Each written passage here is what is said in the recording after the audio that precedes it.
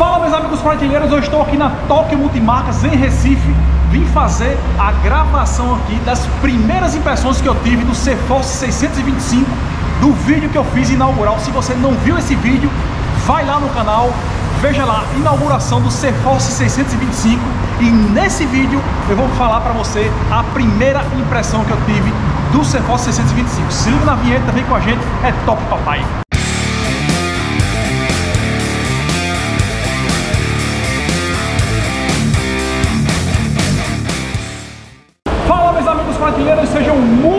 bem-vindos a mais um vídeo aqui do canal. Você está na Turma do Quadriciclo, maior canal de quadriciclos do Brasil. Vem com a gente, o vídeo de hoje, como vocês viram no início, eu vou fazer uma avaliação né, da minha primeira volta, primeira trilha que eu fiz com o CForce 625, igual a esse que vocês estão vendo aqui agora. Então, eu, eu, eu elenquei aqui, tá no meu celular, tá elencado vários pontos aí meus em relação ao meu ponto de vista, é importante frisar isso, tá? Eu fiz a primeira pilotagem dele no meio da trilha e eu vou começar falando para vocês aí do painel de instrumento. Vocês estão vendo essa imagem agora do painel de instrumento. De fato, é um painel que mostra no meio da trilha muito mais fácil e visível né, a condição do quadriciclo. Então, rotação do motor, temperatura do motor, se está acionado 4x4 e assim por diante. Então, ele tem quatro pontos de iluminação do LED, né? Ele tem quatro níveis, na verdade, de iluminação. Isso é muito bom. O segundo ponto aí é a direção elétrica, o famoso EPS. De fato, a tecnologia embarcada nesse quadriciclo ela é muito boa, assim como mil cilindradas, como vocês viram no vídeo aí que eu fiz do CForce 1000, né? Então, de fato, vocês estão vendo aí agora um vídeo, eu estou balançando aí, né, com um dedo apenas a direção, o, o, o guidão, né? E ele é muito leve, muito leve. Eu tive a oportunidade de pilotar um quadriciclo, né? O meu antigo Canan Renegade 2013, ele já tinha direção elétrica, só que a tecnologia vai evoluindo, né? E, de fato, a, a direção elétrica, o EPS, né? Do, do CForce, ele é muito mais preciso, muito mais leve. Talvez aí, por ser 2013, meu canal Renegade antigo, né? A tecnologia não tinha avançado tanto. São ponto positivo aí também. É, a precisão do câmbio, muito preciso, a troca de marcha e, e a resposta, né? O, esse quadriciclo é equipado com um câmbio CVTEC, é uma tecnologia superior aí a, a um câmbio CVT normal, é uma tecnologia canadense, então também é uma tecnologia muito precisa. Então a troca de marcha e a própria aceleração ela é muito mais rápida. Então o alavanca é muito rápido. Isso é muito bom também aqui nos, nos quadriciclos CFOS é, da, da, da CF Moto do Brasil, né? CF Moto em geral, mas da linha CFOS, muito preciso o câmbio CVT. O próximo ponto, a suspensão, a suspensão muito boa também. A suspensão desse quadriciclo especificamente é a óleo, né? Vocês estão vendo aí o vídeo agora, o vídeo agora no detalhe, né? A gente está balançando o quadriciclo aí. Vocês notam, de fato, uma, uma, uma fluidez muito grande aí no, na suspensão desse quadriciclo. O freio motor, cara, desse, desse quadriciclo, ele é impecável. Eu particularmente gosto muito de freio motor. Isso evita o desgaste prematuro das pastilhas de freio, né? E junto com o conjunto de freio motor, vem também o próprio freio é, desse quadriciclo. Ele tem freio nas quatro rodas, freio a disco, e o freio é muito preciso. Isso também é um ponto muito positivo, porque na emergência, né, você consegue apertar o freio e de fato ele tem uma resposta muito rápida e precisa. Vou mostrar para vocês agora como verifica aqui a entrada do filtro de ar, muito simples. Eu vou tirar esse banco aqui, ó, aqui embaixo tem uma alavanca, então eu subo a alavanca aqui e puxo o banco. Então aqui já saiu o banco. Agora eu venho aqui no banco tem uma travinha aqui, eu levanto a trava e puxo, tiro também o banco e a, a entrada de filtro de ar, ela está especificamente aqui, ó. Aqui é a caixa do filtro de ar, tem que tirar essa proteção aqui para visualizar, é uma caixa comprida, mas a entrada de ar está aqui, ó. Essa é entrada de ar, ela está logo abaixo do banco. Então tem que ter muito cuidado para quando for passar em águas profundas, não passar com o nível aqui para que o motor não aspire a água que entra aqui junto com o ar. Beleza? Então, entrada da caixa de filtro de ar é aqui embaixo do banco. Como vocês viram, de fato, ele é bem baixo, né? Mas ainda assim dá para submergir com, a água até uma parte considerável do quadriciclo, tá?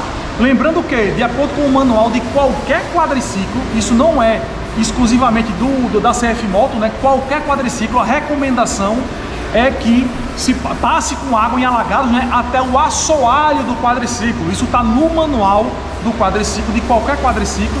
E para evitar isso aí, qualquer transtorno que venha entrar água no motor, geralmente as pessoas colocam snorkel no quadriciclo. Então, logo logo também vão desenvolver snorkel para esse tipo de equipamento, aqui nos quadriciclos da Ceforce, da CF Moto. Então, logo logo vem novidade por aí. Dando sequência aqui, né, é, nós temos aí também esse lindíssimo farol em LED que vocês estão vendo o detalhe agora aí.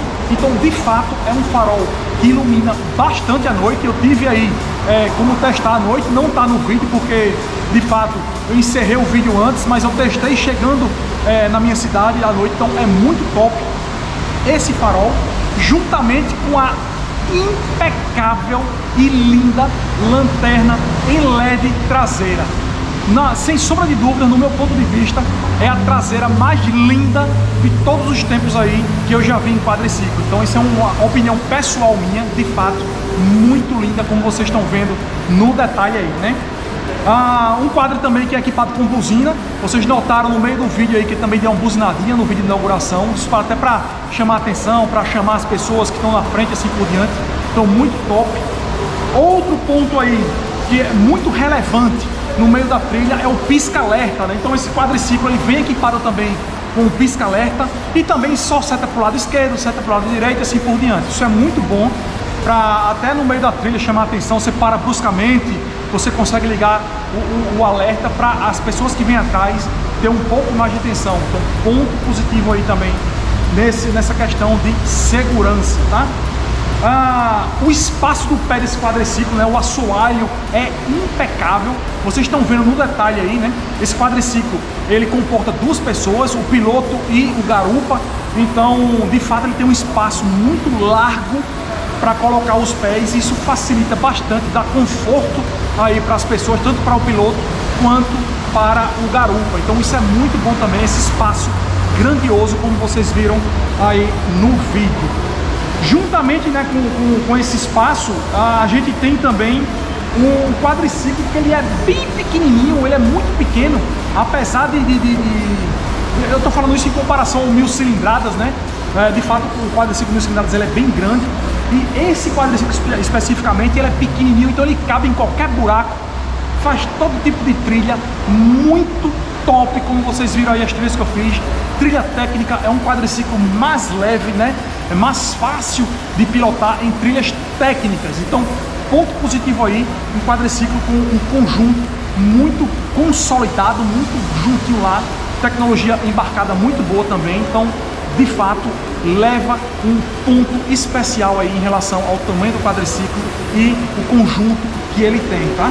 Outro ponto que me chamou muita atenção foi a temperatura do motor. Então a temperatura do motor no painel ele tem cinco tracinhos, cinco pontinhos e em torno de 70% da trilha eu fiz o, a trilha com, com a mínima temperatura. Isso é muito bom para o quadriciclo. É o que vocês veem nos meus históricos, históricos de vídeo aí, os quadriciclos esquentando. Eu passo por muita lama, né? Então, vocês estão vendo no detalhe aí também, o radiador, né? Ele é muito fechado na parte frontal, isso evita que bata a lama com maior frequência. Ele também tem uma tela protetora entre o radiador e a grade frontal, isso é muito bom. Isso de fato me chamou a atenção, a temperatura de trabalho do motor, muito bom. O quadriciclo em nenhum momento é, cogitou aí esquentar, mesmo diante das lamas que a gente passou, como vocês viram no vídeo que eu gravei.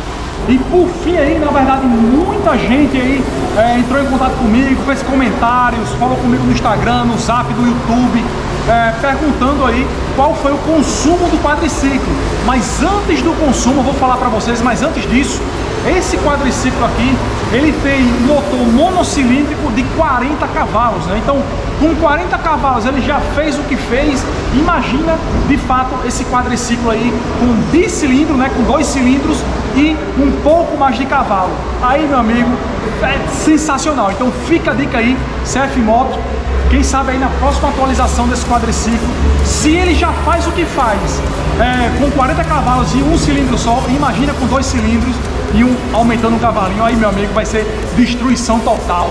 É top. Então, na trilha, esse quadriciclo já faz o que faz. Muita gente tem esses quadriciclos para utilizar em fazendas, né? É utilizar na roça, utilizar em condomínios, passeios. Então, se ele já é bom no extremo, imagina aí para nesses passeios lights, né? nas trilhas, na fazenda, que é um, é um uso um pouco mais restrito, no terreno único. Então isso é muito top, tá?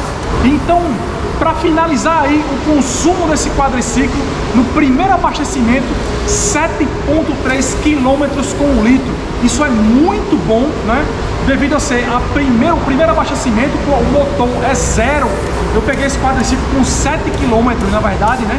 Então, ele está se acomodando, está se estabilizando. Então, a tendência é que essa média de consumo aí suba aí para cima de 10, né? Pelo menos espera-se isso. Então, primeiro consumo 7.3, muito bom para um quadriciclo que está com o motor se adequando ainda, né? Então, fica aí é, a minha primeira avaliação desse belíssimo quadriciclo. Meu está comigo um quadriciclo cinza, né? Esse aqui é azul, mas está aí a minha opinião, tá? Eu gostaria de registrar que é a minha opinião é, em relação à primeira avaliação desse quadriciclo. Eu vou estar utilizando o quadriciclo e na medida da utilização eu vou estar reportando para vocês todo o meu sentimento em relação à máquina. Muito obrigado a você que viu esse vídeo aqui até agora. Você está na Turma do Quadriciclo, maior canal de quadriciclos do Brasil. Vem com a gente, Turma do Quadriciclo, diretamente da Tóquio Multimarcas. É pau, papai!